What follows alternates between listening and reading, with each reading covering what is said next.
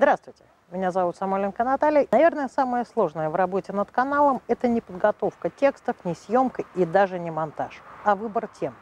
Именно выбор темы для будущего ролика занимает больше всего времени. По этому вопросу у нас никогда нет согласия.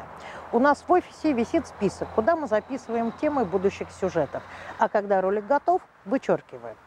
Но есть темы, которые кочуют из списка в список. Я периодически сажусь за текст, ну или откладываю его в долгий ящик, или зацепившись за что-то, переключаюсь, и сюжет оказывается совсем о другом. Так было и с Дёрином. Первый раз вместо рассказа о нем получился сюжет о теневыносливых растениях. Вторая попытка вылилась в сюжет о пестролистных формах. Наверное, и этого ролика не было, если бы не, на, не наткнулась на один обзор, где, на мой взгляд, Дерин очень обидели. Мы не называем этот канал, но реабилитировать Дерин все-таки хотим.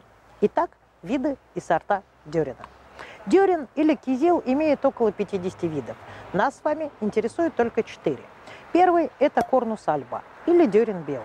Этот вид родом из Сибири, отличающийся сибирским здоровьем и богатырским ростом. Высоту может достигать 3-4 метров, в ширину ну, самый большой куст, который я видела, занимал порядка шести соток. Это был подлесок вдоль Приморского шоссе.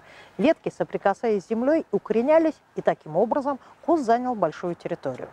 К условиям произрастания корнус альба не требователен. Растет почти на любых почвах и при любом освещении.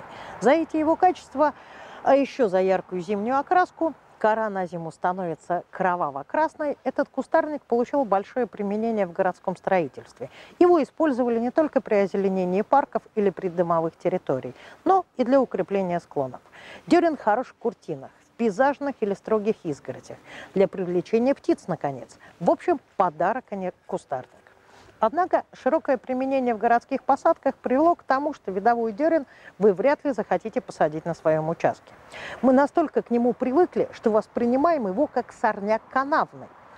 Но у этого вида есть большое количество сортов, которые украсят ваш участок и придадут ему элегантность.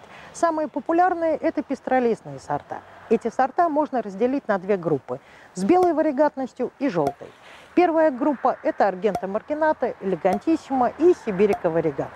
Компактный и относительно невысокий, до полутора метров – это сибирика варигата. А самый популярный – это элегантиссима. Белые полоски очень яркие, словно белой краской провели по листу. Аргента маргинат имеет более бледные полоски, но мне он нравится больше. Вид более естественный. Из желто-окаймленных я знаю всего лишь два сорта – гашалти и шпета.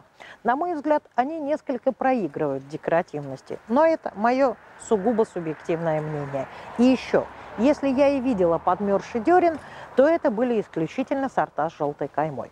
Что касается нюансов агротехники и особенностей роста пестрых сортов, эти сорта, так же как и э, видовой дерен, не нуждаются в танцах с бубнами. Однако, напомню, что варигатность – это отклонение от нормы.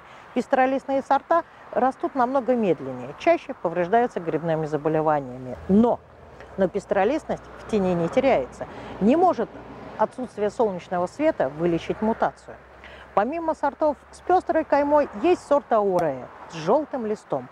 Вот в тени он вместо яркого лимонного цвета станет салатовым или вообще зеленым. Выберите этому сорту открытое солнечное место, и он озарит ваш участок в пасмурную погоду своими яркими красками. А вот на следующем сорте я хочу остановиться отдельно. Пожалуй, это один из моих любимых сортов, сорт этот Кэсселринги.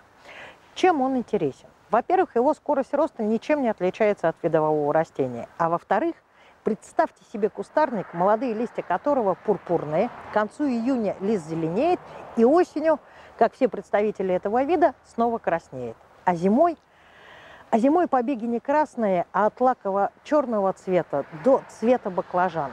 Конечно, это не все сорта корнус альба, но все они заслуживают вашего внимания. А мы, а мы переходим к еще одному виду – кроваво-красному дерну – корнус санкинея. В отличие от белого, этот вид родом из Северной Америки. Он очень похож на белый, такой же крупный. Кора на зиму также приобретает красный оттенок. Но отличие все-таки есть. Кроваво-красный менее зимостоек. Плоды черные, а не белые. Листва осенью желтая. Ну и он менее агрессивен. Корневой поросли намного меньше. Из интересных сортов можно ответить Midwinter Fire. Побеги желто-красные с оранжевыми переходами. Или Magic Flame. Этот сорт также встречается под еще несколькими названиями. Энни, Энис Winter Orange, Winter Beauty и Winter Flame. Кустарник высотой около 2-2,5 метров. Ширина примерно такая же. Побеги этого сорта осенью и зимой яркие оранжево-красные. Осенью листва желтоватая с розовым оттенком. Долго останавливаться на этом виде не буду, так как большого опыта работы с ним у меня нет. А экземпляры, которые я видела, погибли от грибных заболеваний или просто не перезимовали. Но моего опыта недостаточно, чтобы сделать какие-то выводы. Если вы имеете опыт выращивания кроваво-красного дерна, то поделитесь своим опытом в комментариях. А мы, а мы идем дальше и поговорим о дерне, родина которого также Северная Америка. Но он более зимостойкий и в природе встречается даже на Аляске.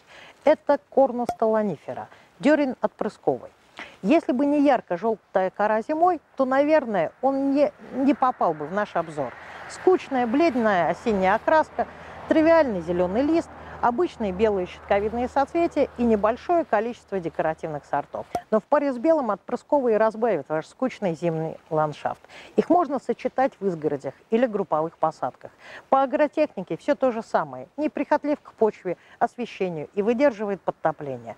Наверное, на этом можно было закончить. Но как можно закончить обзор и ни слова не сказать о канадском дерне?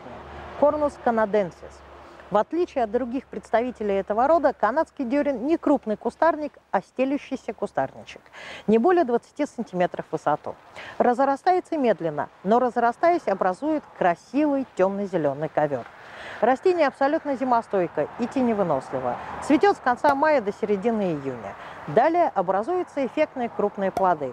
Они вполне съедобные, но невкусные. Понравиться они могут лишь оленям и лосям на Аляске. Там канадский дюрень является важным кормовым растением. А для нас это растение может быть интересно для оформления тенистых участков и приствольных кругов. Но помните, что он предпочитает влажные почвы. А на этом все. До скорых встреч, оставляйте комментарии и подписывайтесь на канал.